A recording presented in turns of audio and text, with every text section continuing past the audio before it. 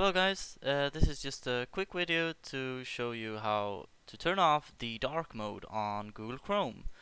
Um, I've been googling around just for a few minutes and I couldn't seem to find how to turn it off. Some say you should go into the settings and then you go to themes and then you change here but it may be the solution for you but for me that wasn't the case.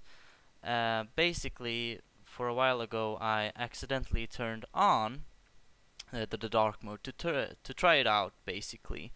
So as you may see it's dark.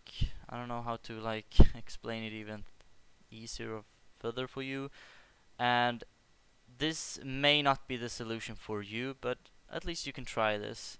So basically you're going to uh, your settings on Windows and you may see that it is also black here uh, you go to customization and then you go to colors and then you scroll down and then you choose uh, bright or light whatever it is in English. And then there you go. That's basically it. You have that's all you have to do. Uh, no need to change here in the themes as long as you haven't done it before. Uh, it should be the default. So thank you for watching and uh, hopefully I could help you. Have a great day. Bye